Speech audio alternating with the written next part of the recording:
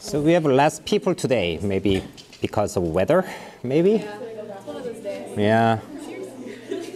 So um, basically, this is the uh, air masses. We are talking about climate uh, right now, our final topic, um, next few classes, right?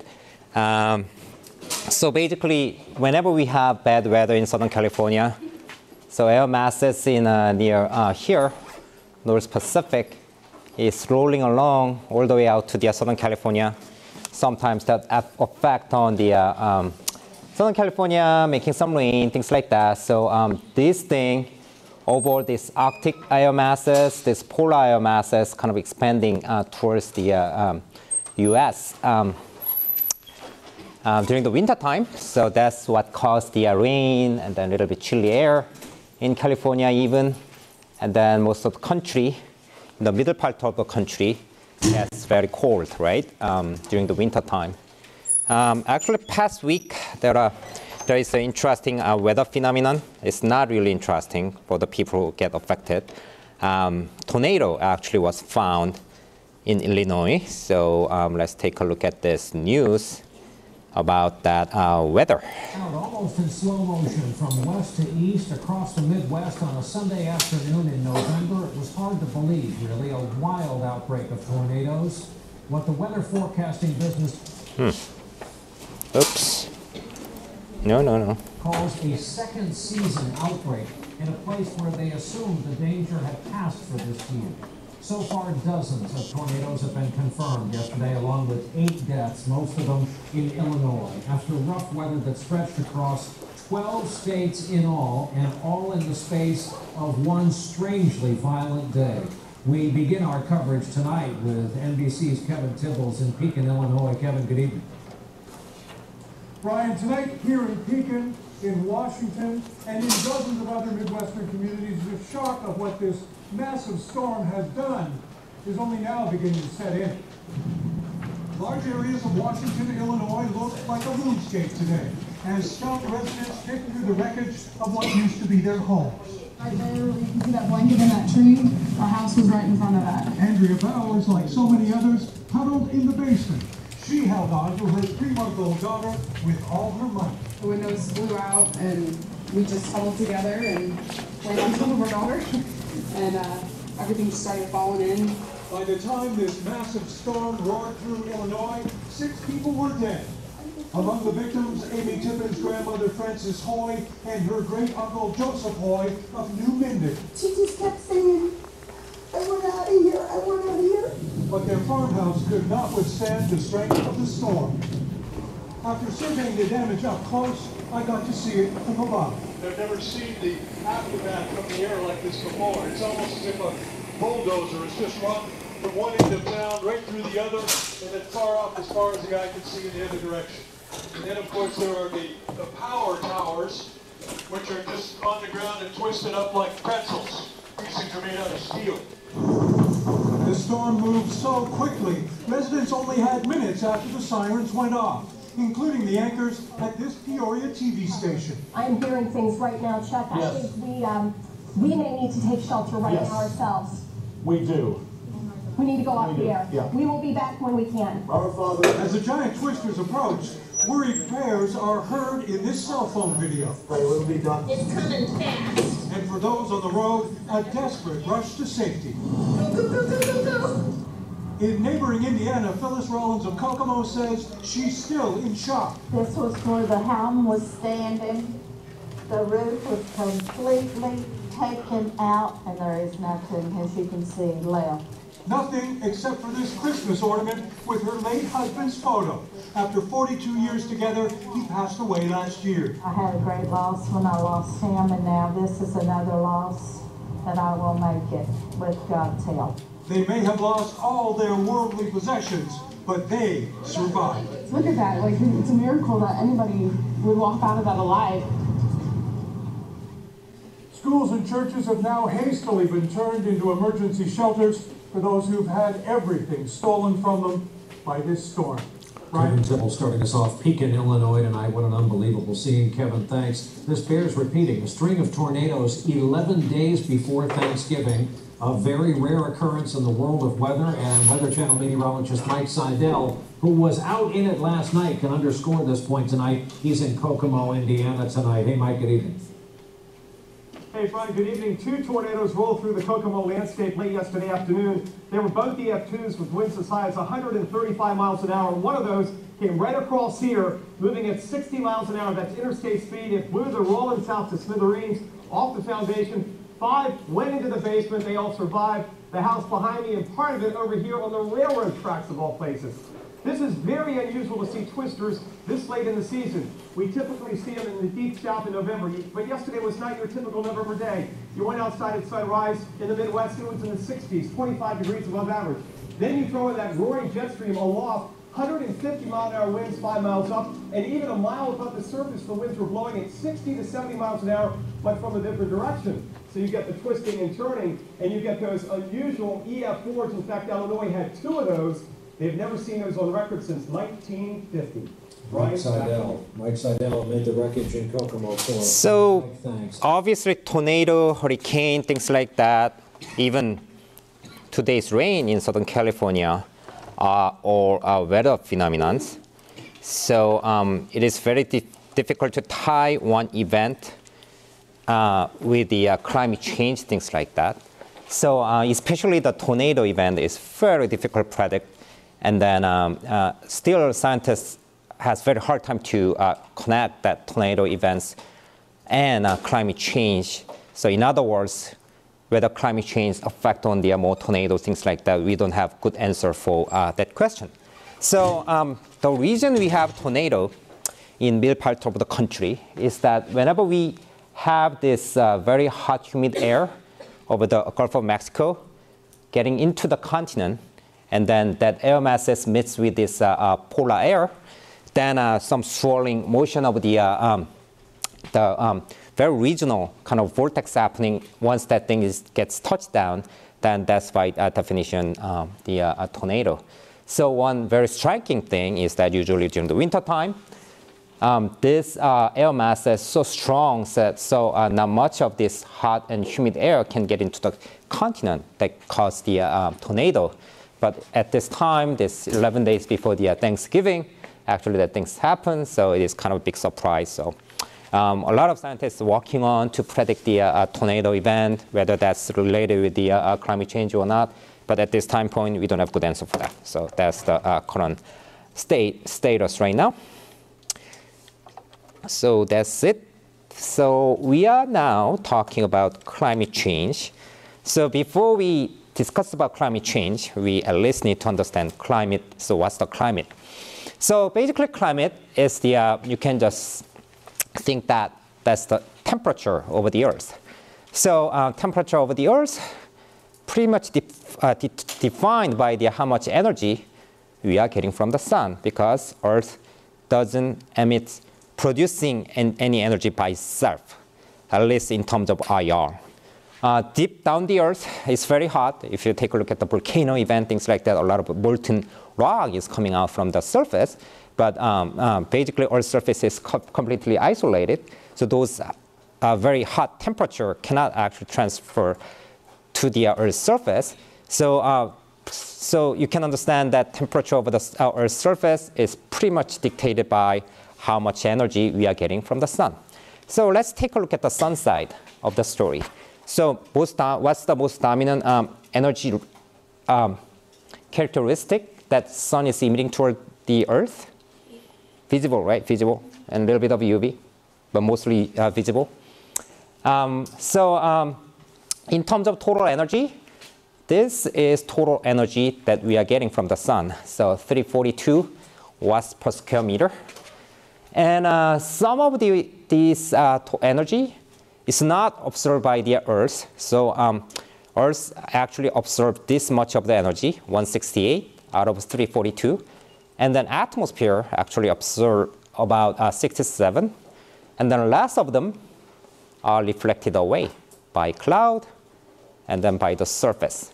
So about one, 107. So it's about 30% of their total energy got reflected away from, the, uh, from the Earth. So we call it the ratio,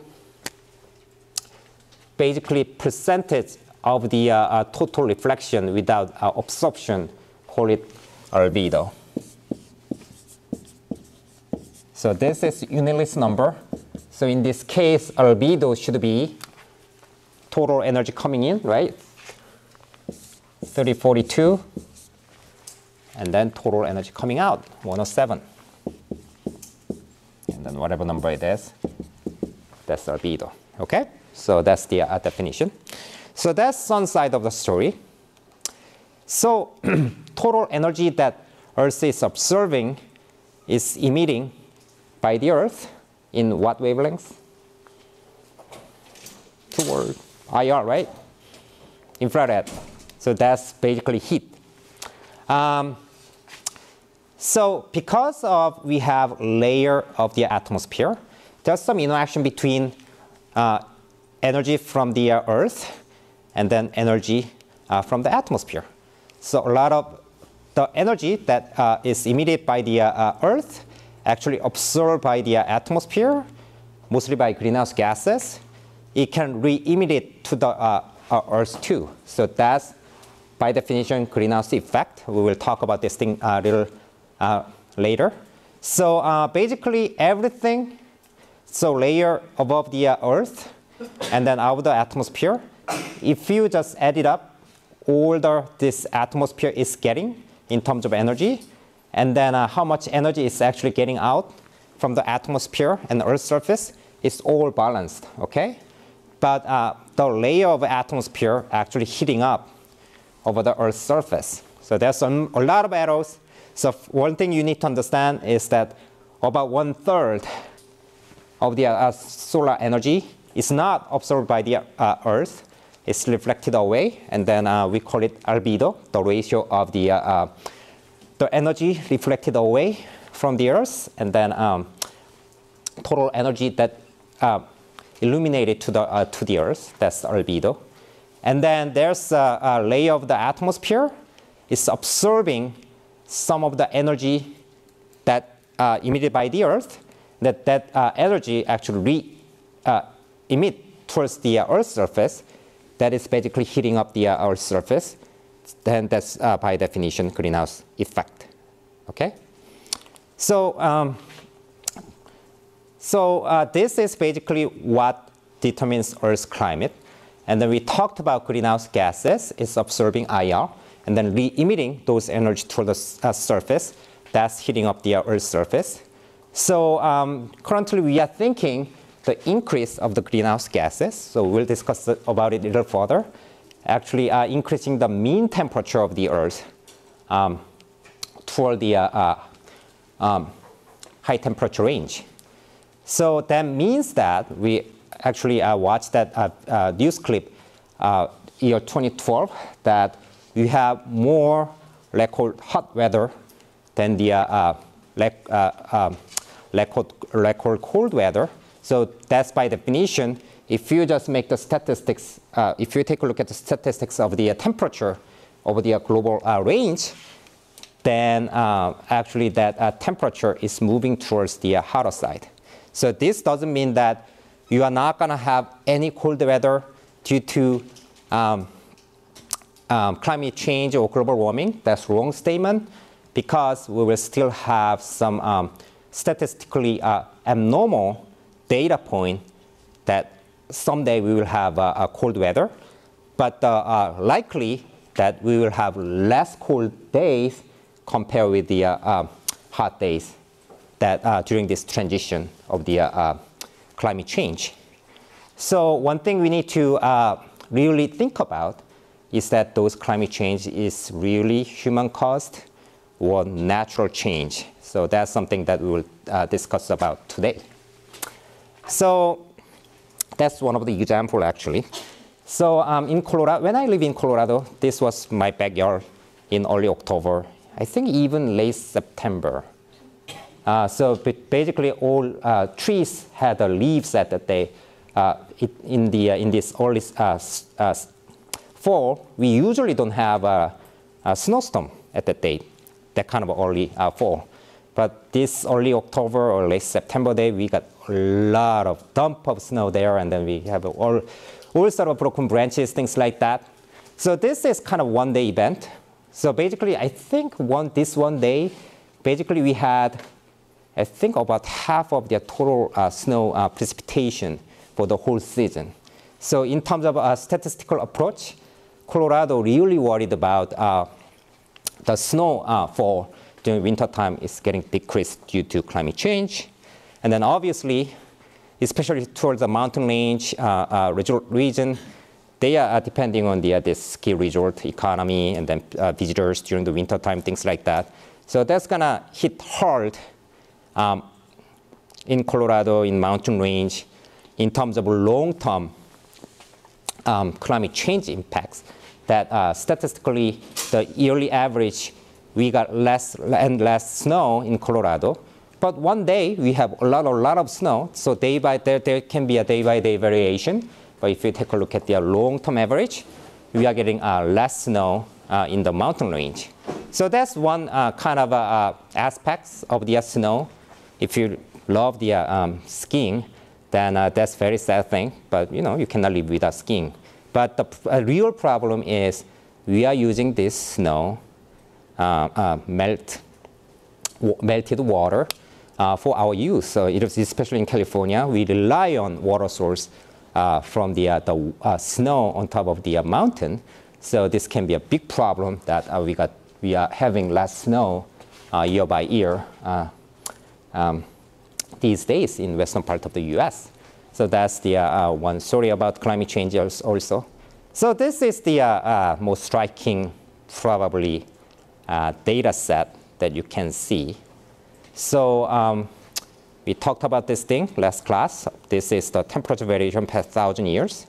So um, although we don't have any record on global uh, temperature uh, observation data set thousand years before, but still we can reconstruct uh, temperature, for example, using the, uh, um, that ice core, or we can take a look at the uh, uh, tree rings, things like that.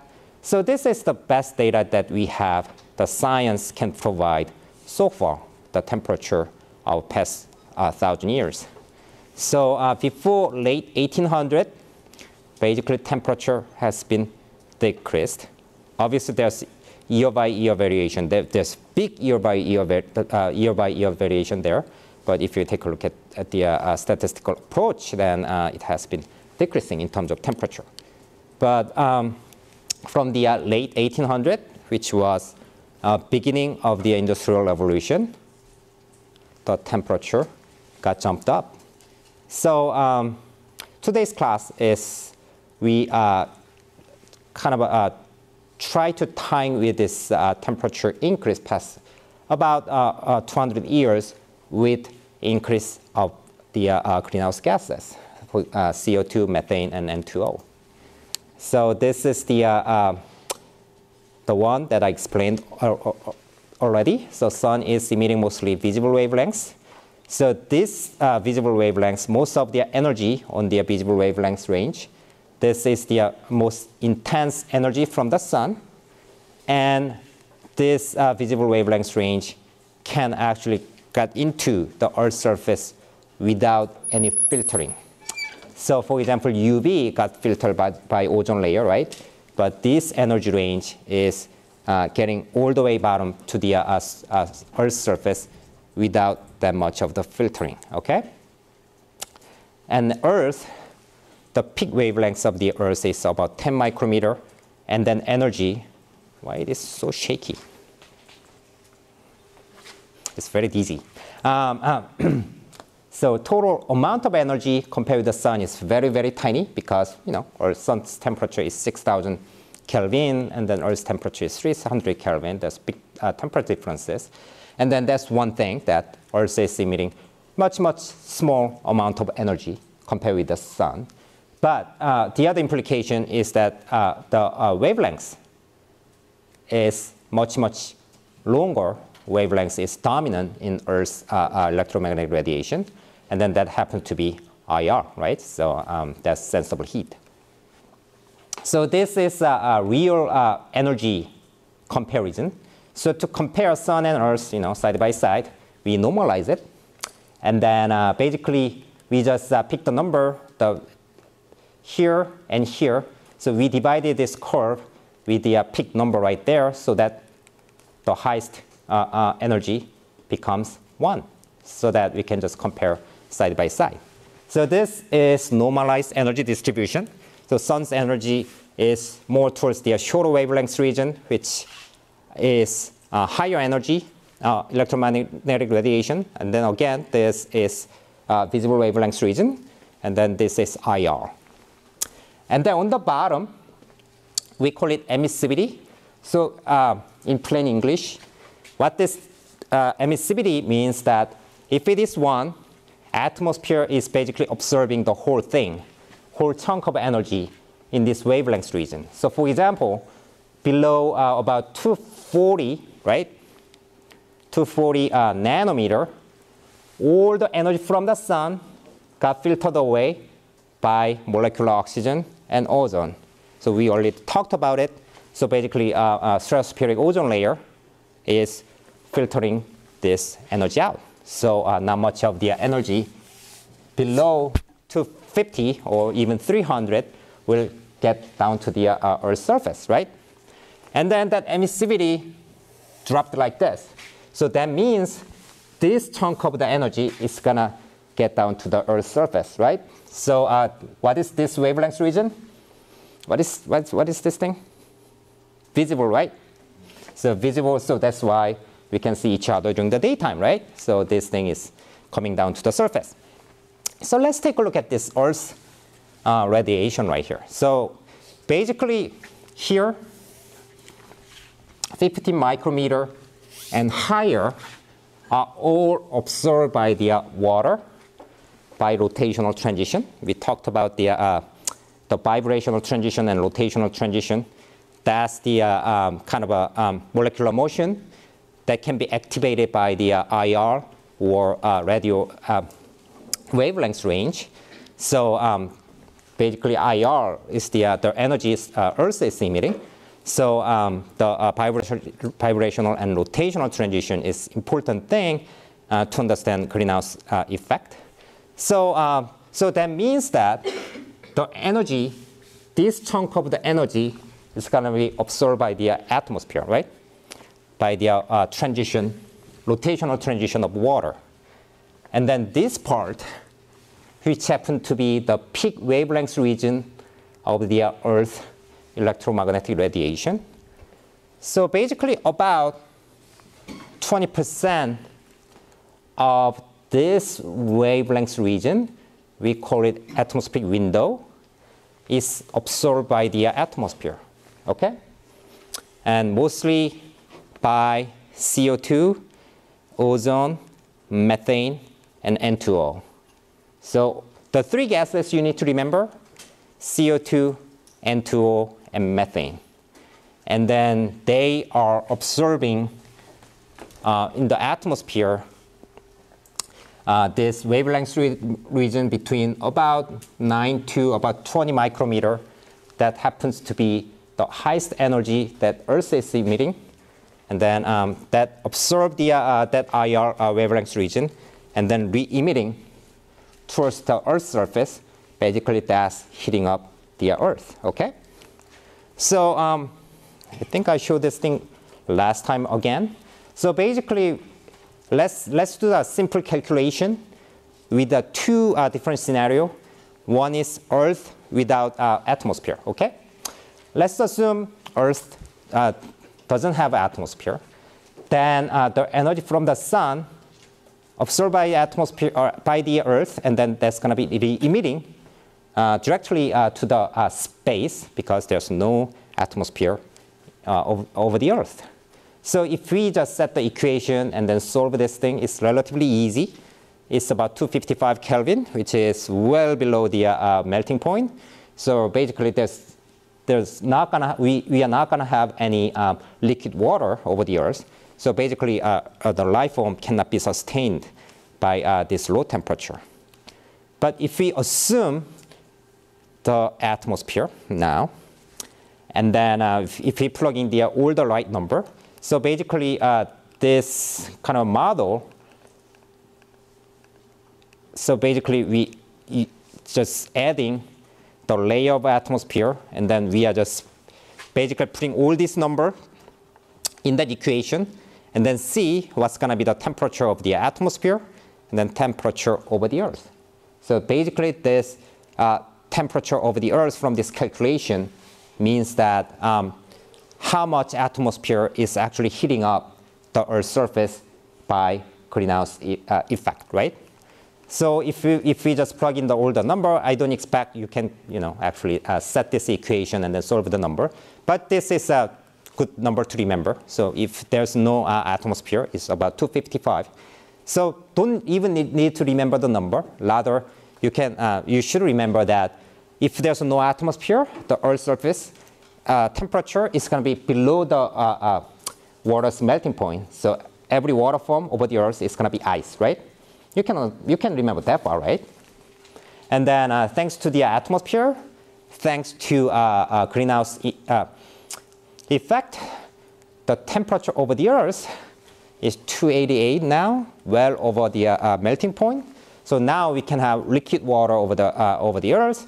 So uh, it can, uh, Earth can sustain life over the Earth's surface, right? So that's the uh,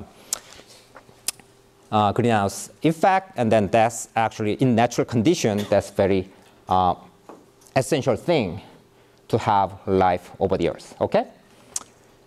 So I talked about we need. So there's uh, this most discussion of this class is going to be CO2, methane, and a little bit of N2O. So um, so we talked about the vibrational transition. So if you take a look at this. Um, molecule, CO2 looks like this, methane looks like this, and then N2O looks like this. So this molecule all can have uh, so vibrational uh, transition.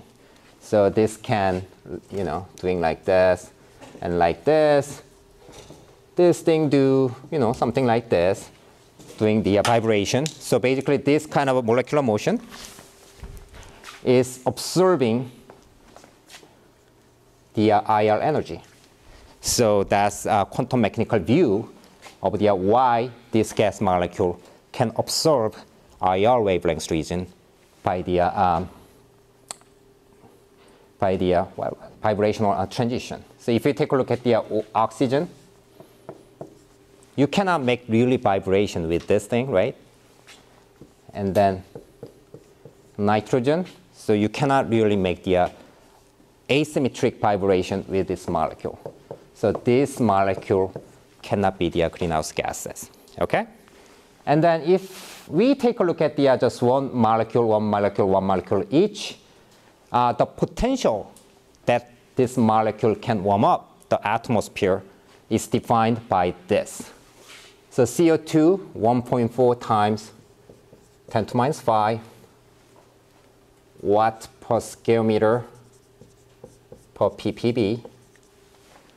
And then um, methane is 3.7 times 10 to minus 4, same unit. And then N2O. So you can understand this is energy uh, that uh, warming up the atmosphere. And then this is area. And then this is concentration, mixing ratio, right? So according to this, which molecule has most potential to warm up the atmosphere? Anybody can answer just by seeing this number?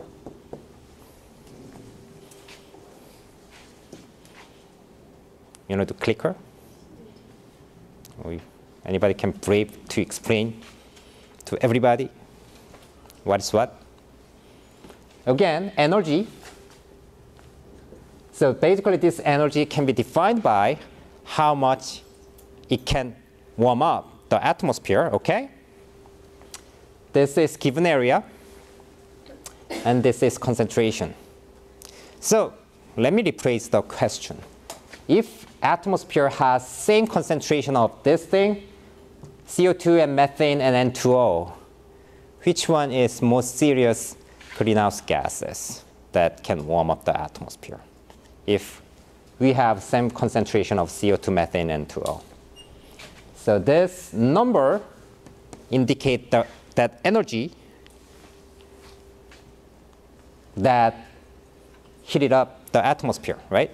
Which one is most highest energy then?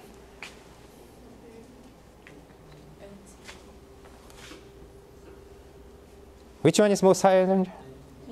Right? This, this is most highest energy that can warm up the uh, atmosphere, right? So basically, this is most serious greenhouse gas if we have same concentration of all three, these three gases in the atmosphere, right? So now let's factor in the concentration, okay? Depends on where you are. It can change, but in global average, uh, this is about, now safely say 400 ppm. Methane, 1.9 ppm. N2O, 300 ppb, which is 0.3 ppm. So which one is most serious greenhouse gas now, if you factor in their concentration?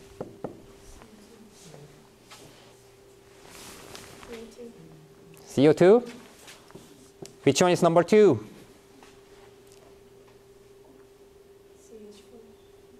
Yeah, methane. Number three. Okay? So I can see a lot of confused face. No? What is this thing? Anybody has calculator? Basically, you can multiply by this and that, then that's the uh, amount of the energy that warms up the atmosphere by this molecule, right? What's the number? Show me.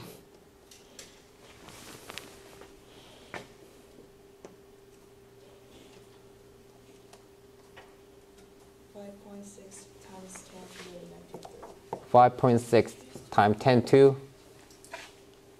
Negative three. minus what? Minus three. 3? How about this one?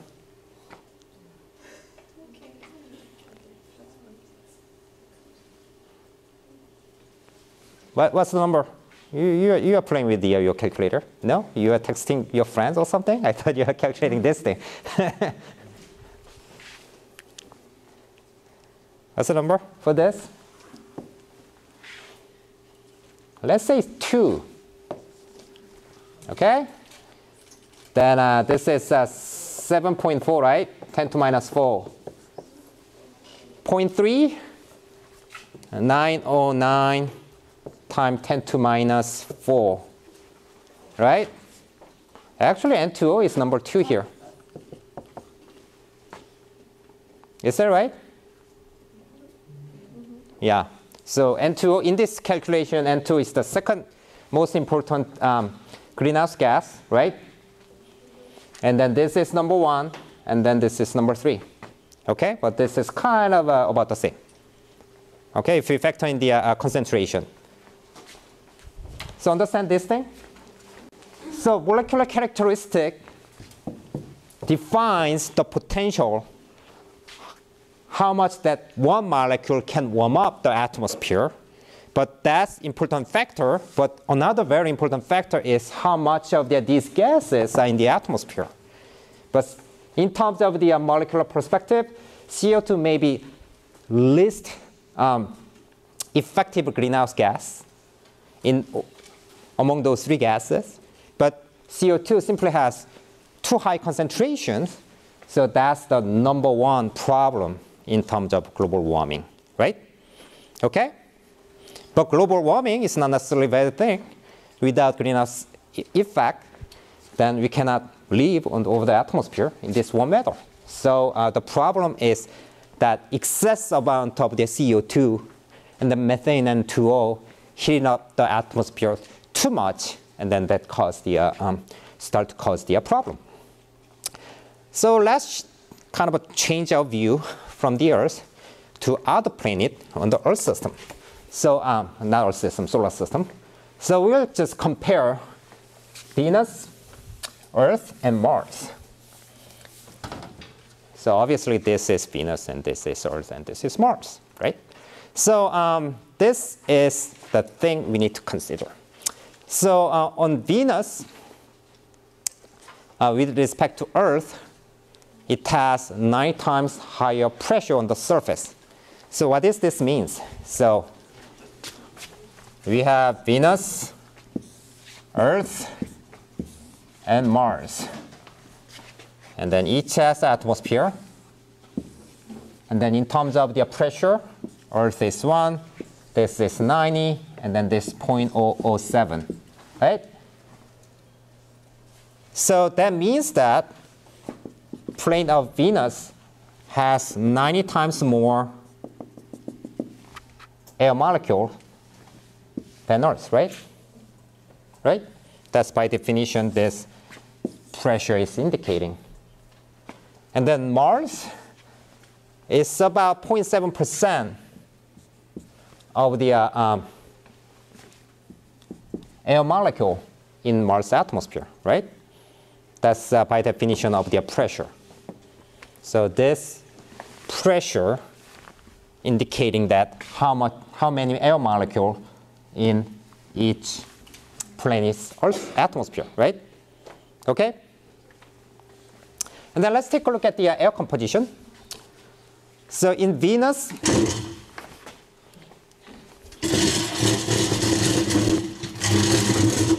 so there's Venus, at, Venus atmosphere, 96% of Venus atmosphere is CO2, which is effective greenhouse gas. And then Mars is about the same uh, case. 95% of the Mars atmosphere is CO2. But over the Earth is 400 ppm. So this is tiny fraction, so that's 400 ppm. So let's do this. 95%, this is 400 ppm, and then this is what? 95% again. So this equilibrium temperature, 252, 255, and 217 Kelvin, is basically this scenario without atmosphere, okay? So without atmosphere, equilibrium temperature of Venus is 252, 255, and then Mars is 217, all below melting point, right? But we just calculated this 288 number because Earth's atmosphere is absorbing some of the uh, radiation, IR radiation from the uh, Earth's surface, and then that re-emitting that energy to the surface that heats up the Earth's surface, right? So um, uh, mainly by CO2, okay? And then let's take a look at the Venus. It has mostly uh, composed by uh, the CO2, 96%, and then total air molecule in given volume, uh, Venus has 90 times more CO2 in their atmosphere, right? So if you factor in this more CO2 and then more air molecule, which means that Venus Venus's atmosphere, there's a lot of CO2 uh, in the Venus's atmosphere. So that causes excess, excess the uh, um, um, greenhouse effect. So uh, increase the actual temperature as much as 730 uh, uh, Kelvin. So that's very hot temperature, right? So that's mainly due to CO2. And then you gotta take a look at both in pressure and then uh, the fraction of gases of CO2. Let's move back to the Mars. Mars atmosphere also has 95% of CO2 in terms of composition, but the pressure is tiny fraction, right? So that means if you just take a look at the uh, uh, in given volume, CO2 number of CO2 molecule is not gonna that many. So there's not much difference between equilibrium temperature and actual temperature. So that means that there's a less greenhouse uh, effect is going on in Mars atmosphere because air is too thin. Okay. So um, this is the uh, how you can see the uh, greenhouse effect. Okay. Too many numbers. okay. So um, so this is boring parts. So we'll take a look at some fun things actually for today. So we'll let's take a look at the CO2. So we talked about the, uh, uh, the temperature increase happened to be immediately after uh, uh industrial revolution. So if, you, if we just uh, reconstruct CO2 concentration or emission to the atmosphere, um, CO2 emission has been constant. Basically, this is our baseline before human emitting CO2 excessively after uh, the uh, Industrial Revolution. So uh, late 70, 1750, uh, the cement production is started.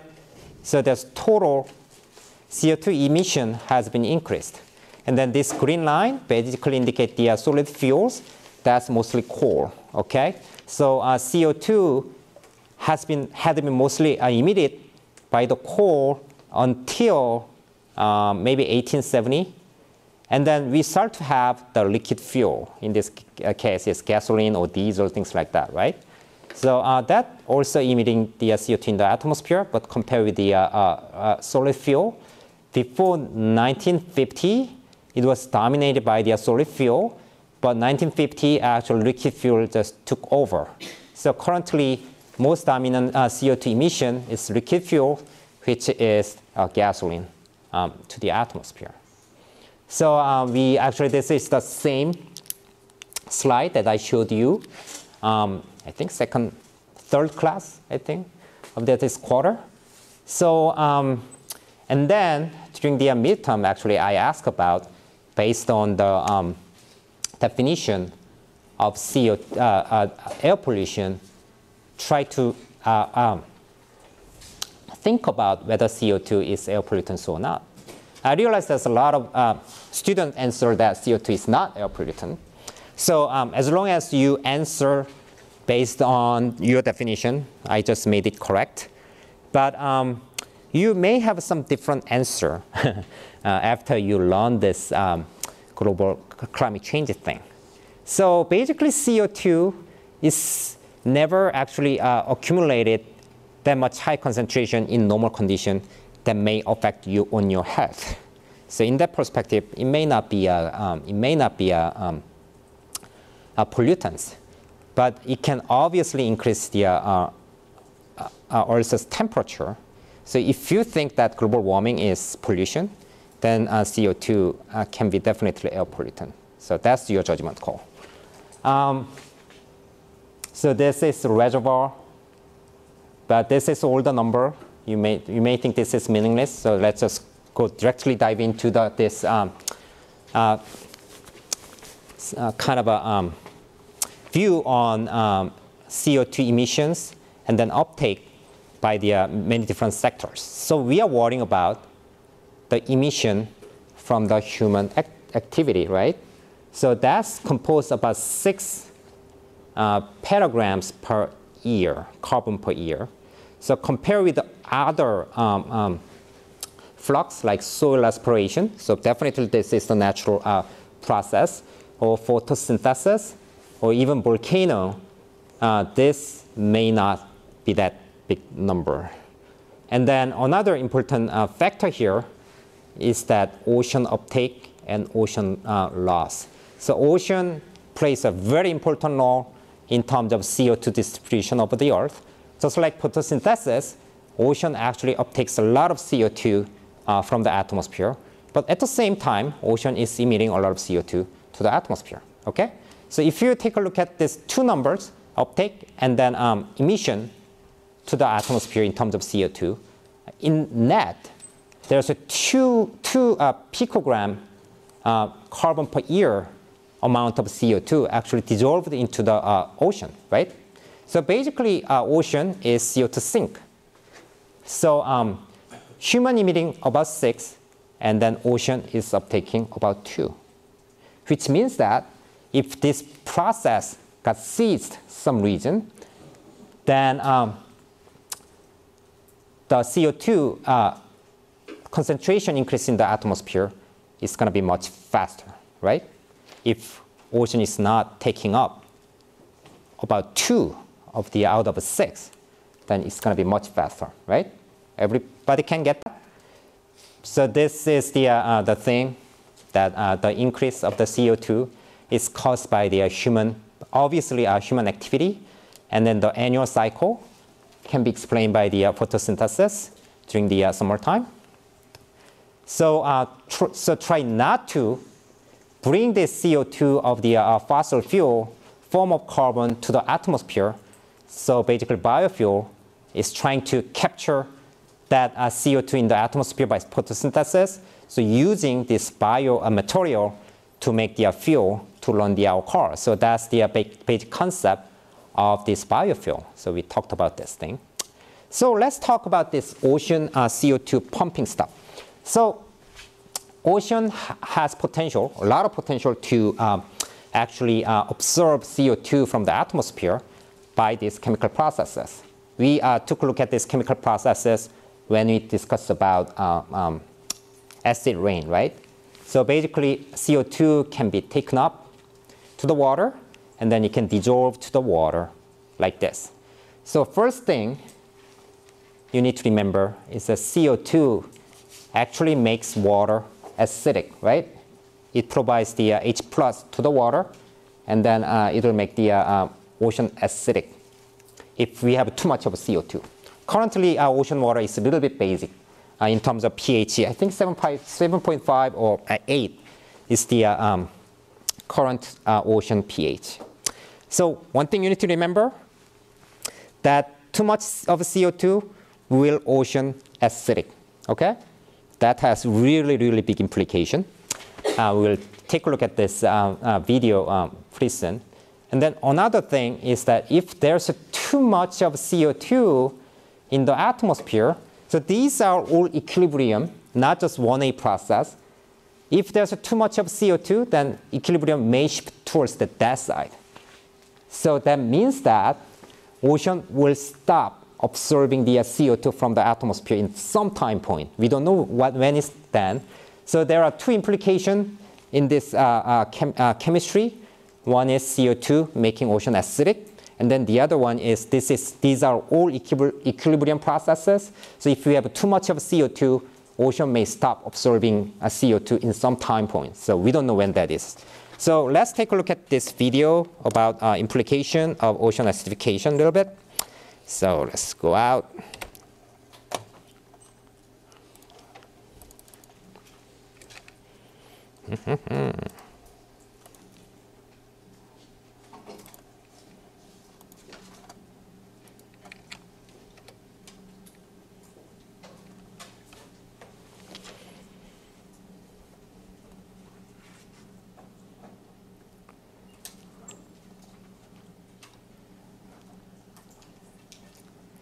So any shellfish fan in this uh, room here?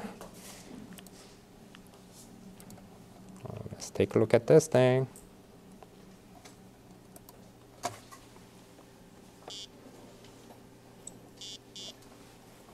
Let's go.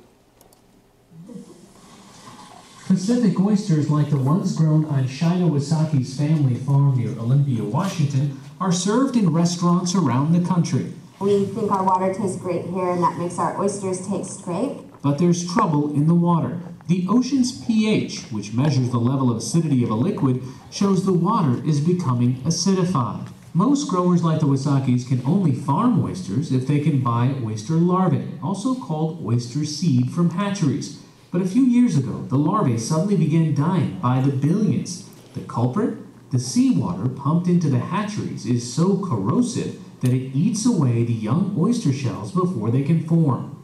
Ocean acidification is this huge problem, and there's so many things. It's the currents, it's the carbon dioxide, it's the aragonite, and it's most of which I understand a tiny fraction of. But what I do understand is when the nursery calls on the phone and says there's no oyster seed to ship.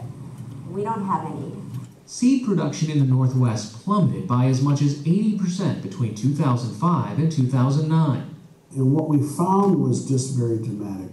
When the waters were highly corrosive, the organisms died within two days. The oyster larvae just simply died. When the water was high pH, they did just fine. It was just like a switch. That switch is happening around the world as oceans take in large amounts of carbon dioxide, or CO2, says Dick Feely, a senior scientist at the National Oceanographic and Atmospheric Administration. Over the last 200 years or so, we've released about 2 trillion tons of carbon dioxide into the atmosphere. And about a quarter of that, or 550 billion tons of carbon dioxide, have been absorbed by the oceans. All that CO2 changes the chemistry of the water by making it more acidic, 30% more since the start of the Industrial Revolution. Because of natural tide and wave patterns, the Pacific Northwest coast has been hit hardest, with corrosive water being brought up from the deep ocean to the surface where shellfish live. That's why Washington's shellfish industry, worth $270 million a year and responsible for thousands of jobs, is the first to feel the effects of this global phenomenon, says Bill Dewey of Taylor Shellfish, the largest producer of farm shellfish in the country. In a single night, Taylor's growers will bring in about 50,000 oysters. This is the first place these deep corrosive waters are coming to the surface.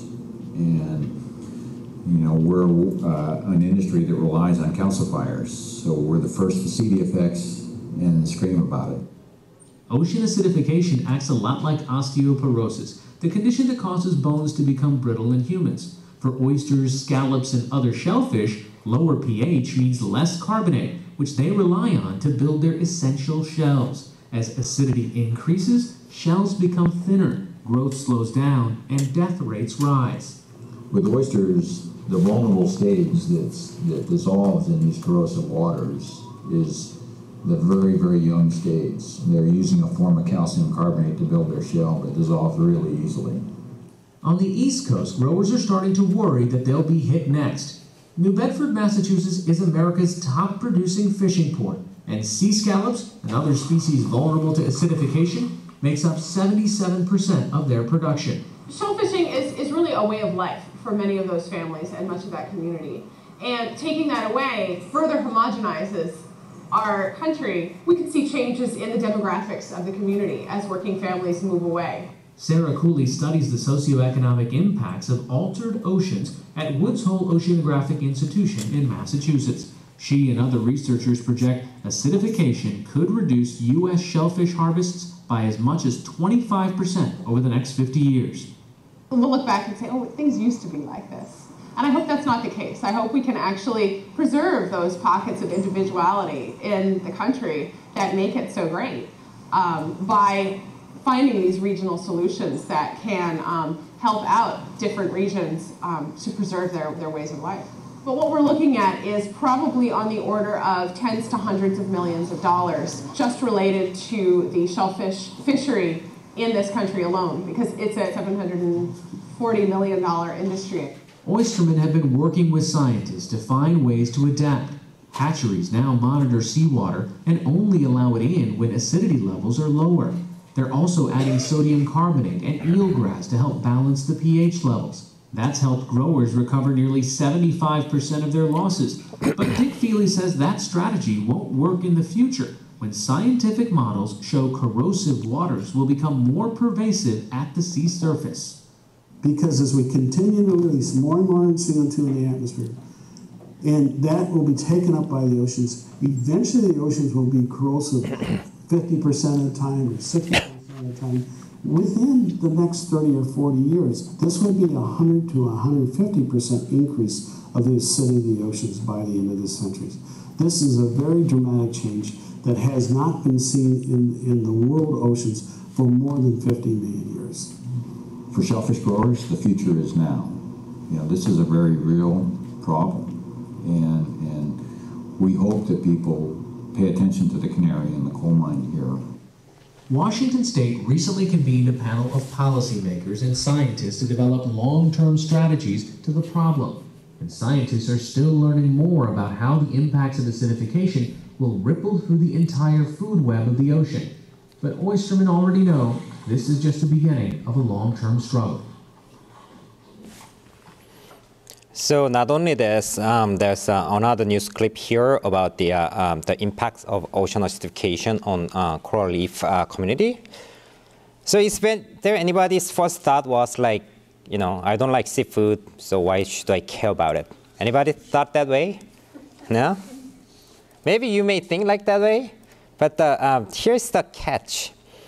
So um, maybe 20, 30 years ago, when we worried about CO2, this ocean acidification thing was not that actually a big research topic at the time. We didn't know ocean is going to be actually get acidified that much, and then we will feel the uh, impacts of the uh, CO2 increase uh, that much.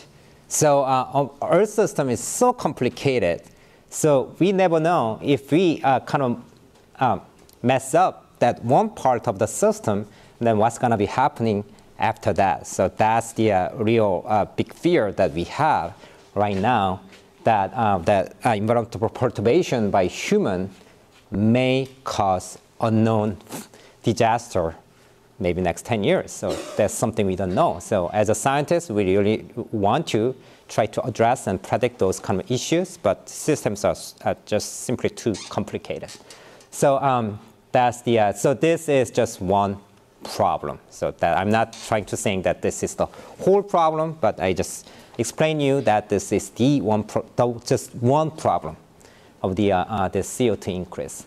And then let's take a look at the methane. So methane, actually rice farming actually emits a lot of methane because uh, the rice field has uh, some sort of bacteria actually that emits a lot of methane to the atmosphere. So it has been most dominant um, methane uh, emitter um, past after the 1860, but uh, the livestock start catching up, and then these days the dairy process, the uh, growing up there, especially uh, cows, uh, uh, um, operation actually emitting a lot of uh, methane. So let's take a look at this two YouTube video explaining the methane. One is well known, and then one is not really well known process. So let's take a look at this thing first.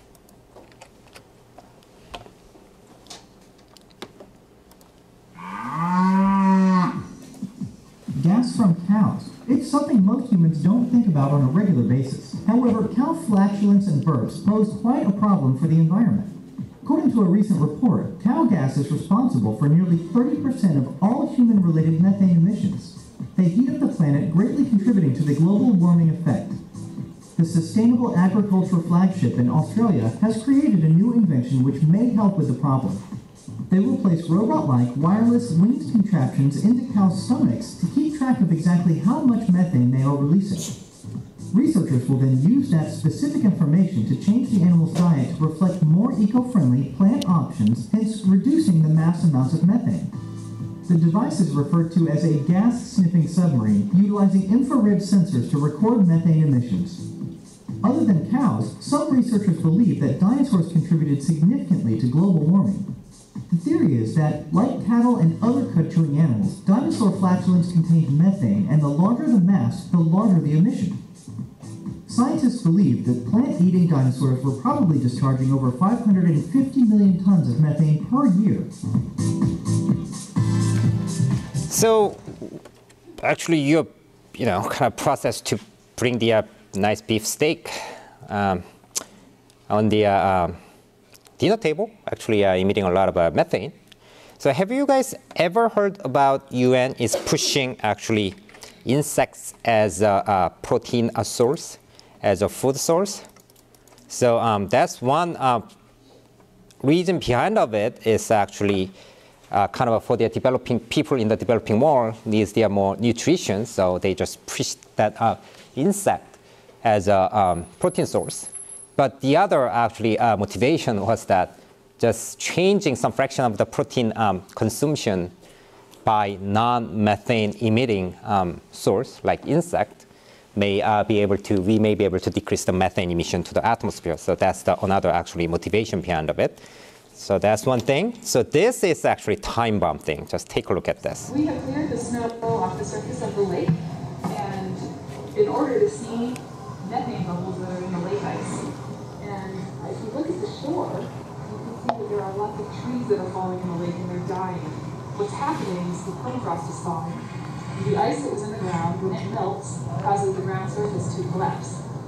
When the forest falls in and any organic matter, dead plant animal remains that were in the permafrost, thaw out in the bottom of the lake, microbes decompose it and it generates methane.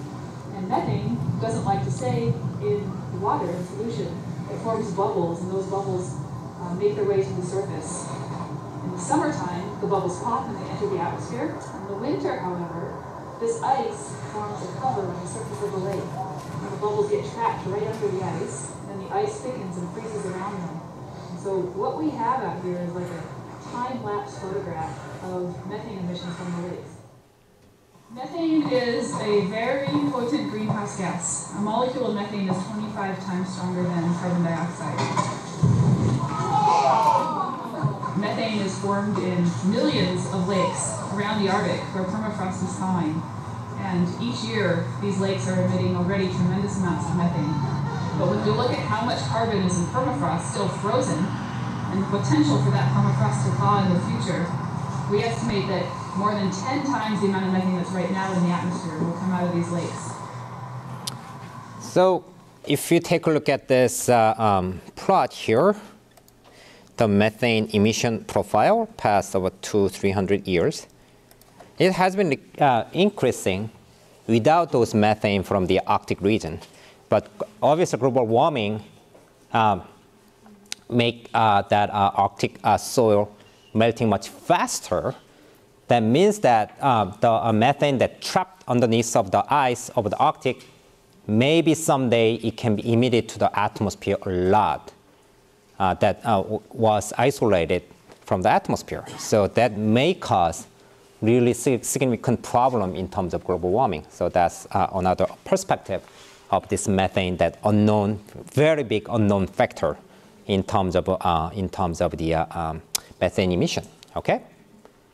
So now then uh, the question arises that if that kind of methane is emitted to the atmosphere, we should call it air pollutants or we shouldn't call it air pollutants because the source of that thing is natural process. As you can see that the methane under the uh, um, permafrost is all from um, that dead trees, right? Kind of bacteria decompose it and then by that uh, process um, they emit their methane to the atmosphere. But the uh, reason, if we uh, think that global warming is caused by the human, then uh, the process that bringing the methane gas to the atmosphere is human-made cause, right? There's two competing kind of factors there. So think about whether uh, if that uh, huge methane can, uh, is emitted to the atmosphere, then we should call it pollutants, or we shouldn't call it pollutants, okay? Think about it. So uh, that's methane. Um, sorry.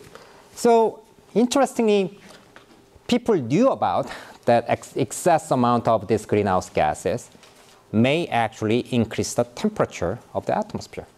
So first scientists actually uh, proposed that um, kind of hypothesis is uh, Arrhenius. He's a Swedish chemist.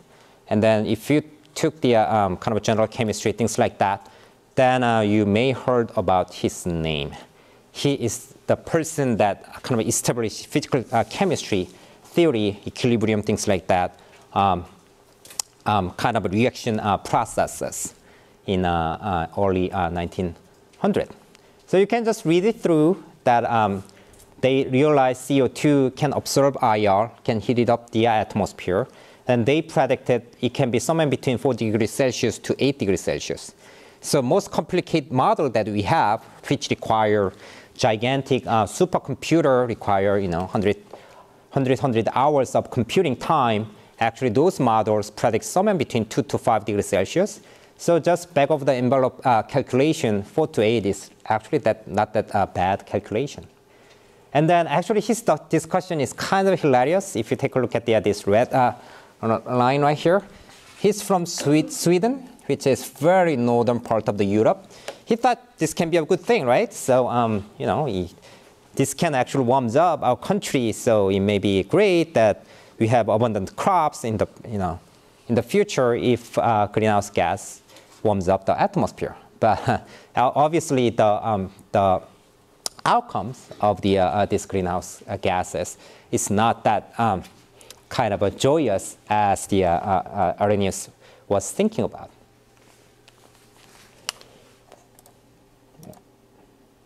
So again, this is most uh, recent snapshot. Uh, statistical stand, standpoint, past about 100 years, more than 150 years, most warmest year, actually number one is now 2012.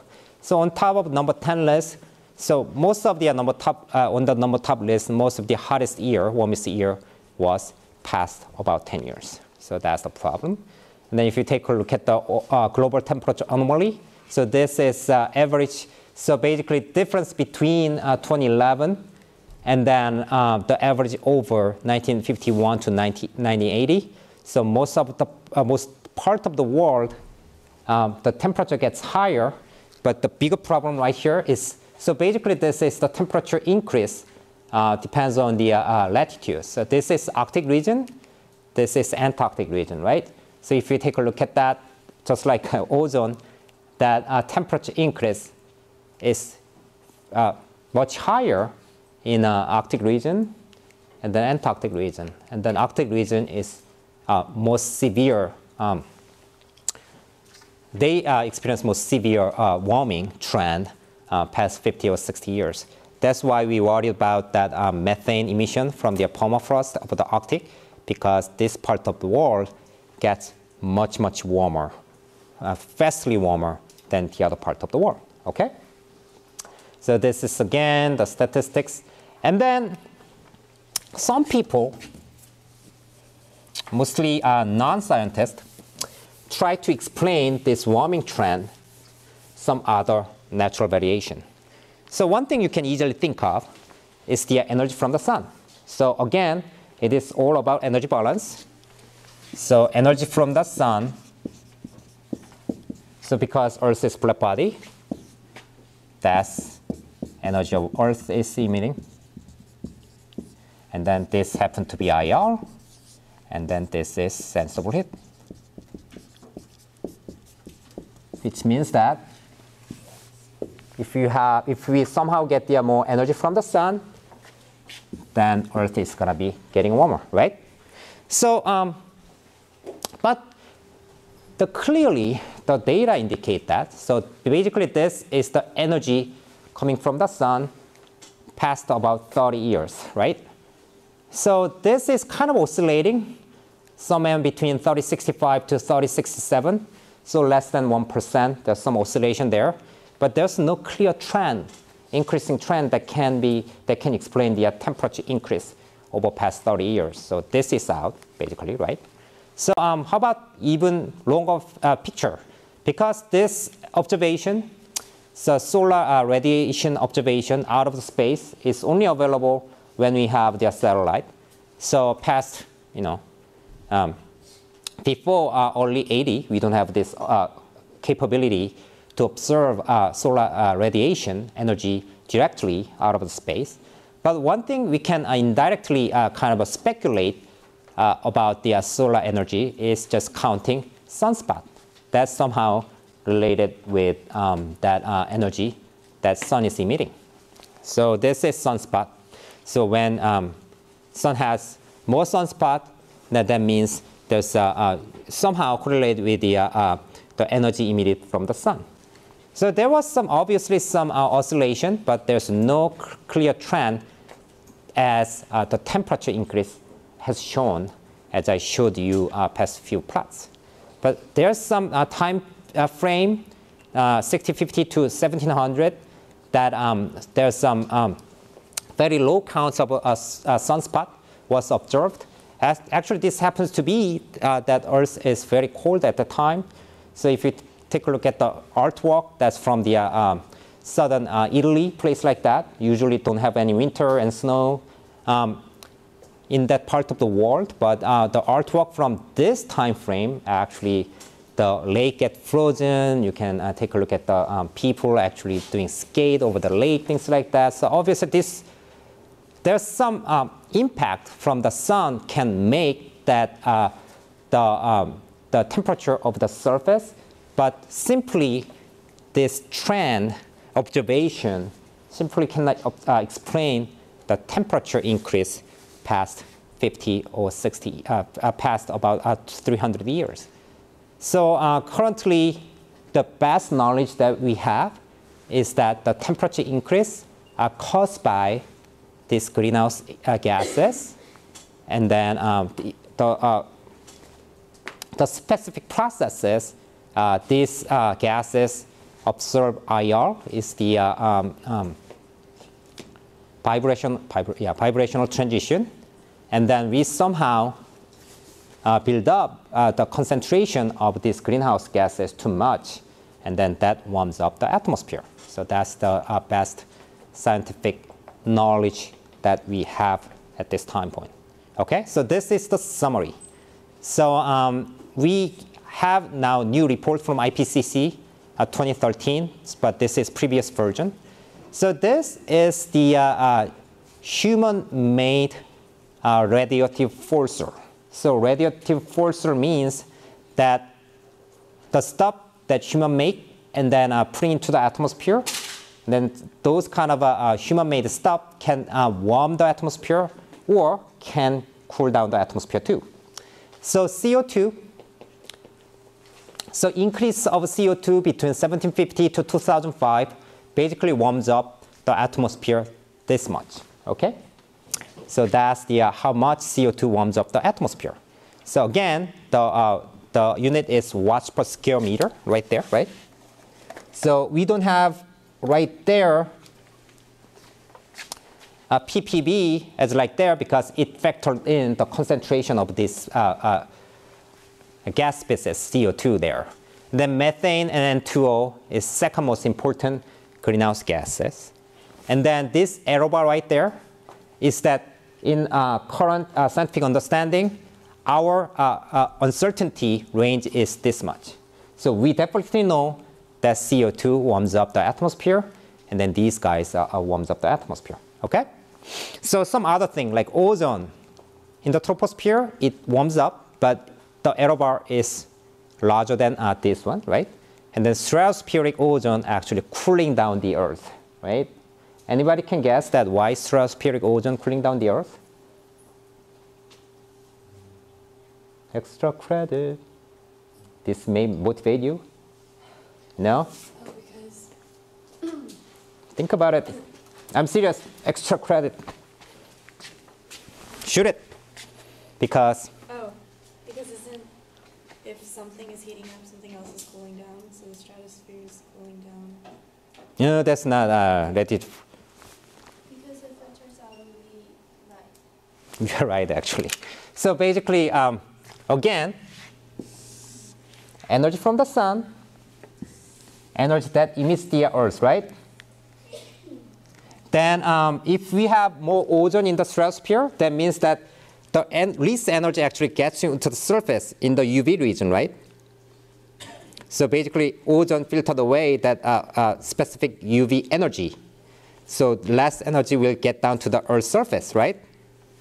So that actually down this part of the equation. So email me, really. I, haven't decided, you know, how many points for extra credit, but I will definitely give you some. Um, so uh, that's the uh, of ozone. And then black carbon, we talked about that warms up the atmosphere. And land use change can cool down. Actually, the big, big, big uncertainty is about the aerosol in the atmosphere. So most of the aerosol, except the black carbon, uh, probably I should try again. Uh, you guys looks like a little bit motivated by this thing. So why the aerosol particle in the atmosphere overall cool down the atmosphere? Extra credit. Go for it. Okay, um, isn't it because they reflect the energy email me. That's the right answer. Uh, so basically, aerosol again reflecting the uh, uh, solar radiation. So uh, decrease this thing so that uh, energy, the, the, the, temperature of the Earth is going to be decreased, right? So you can talk a lot by just seeing this one plot. But if you take a look at this bar, it's huge. So that means that currently, with our best scientific knowledge, we don't have really kind of nailed down prediction on how much this aerosol is going to be cooling down the atmosphere. So for example, if aerosol cool down this much, the highest range that science can predict, right? If it is this much, then basically we can cancel out the CO2, the warming up, the CO2, right? Uh, by the CO2. And then if it is not as much as we think, then global warming from greenhouse gases is going to be much, much more faster than we think. Okay? So um, currently scientists really try to understand this uncertainty. And then next class we will discuss about, there's one or two scientists claim that this will be our solution. This will just save us from the, uh, this global warming issue. So uh, we will discuss about it this uh, next class. Oh, come on, I have three minutes. I think I have a few more slides here. So, so okay, this is the last slide. So you understand this thing, right? That we just go over several times. So um, this is a kind of an exception of the aerosol that actually warms up the atmosphere because of the color of this thing. But in general, aerosol in the atmosphere actually cooling down the, uh, the uh, Earth's uh, temperature. All right, that's it today. See you Tuesday.